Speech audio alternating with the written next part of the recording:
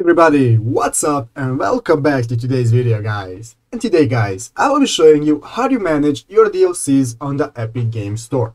So yeah guys, make sure to watch this quick and easy video till the very end and follow my steps correctly, so you can make sure this works the same for you and that you can do this yourself. But yeah guys, let's get straight into it. The first thing you want to do guys is go ahead and open up the Epic Games launcher if you haven't already. After opening up Epic Games guys and logging into your account, you will be greeted by this main page right here where you can see all the games that you have in your account and all the games that you can buy in the store. So guys, I'm currently in my library option. Here are all the games that I have on my account. As you can see here guys, here I have Fall Guys game. Let's say guys that I want to manage my DLCs and I want to buy maybe some DLCs for this game. How do you do that guys? Well, it's very easy.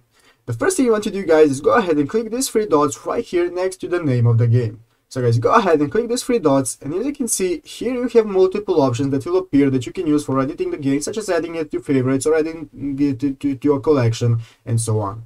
What we want to do guys is go ahead and click this option right here called explore add-ons. So guys go ahead and click on explore add-ons and now this will open up this new page guys where you can see all the DLCs and the add-ons that the game allows.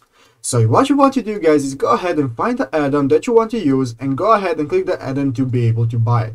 So clicking that, then you can just buy right here, and then it will be automatically added to the game. But guys, if you already have a, a DLC that you want to um, add to the game that isn't already, then it will just appear here, but you will not be able to buy it. You will just have to uh, click the button to uh, add it to the game. There will appear a button that says to activate the DLC or something similar. Then you can just click that, and it will be automatically activated in the game, and will now appear as a part of the game.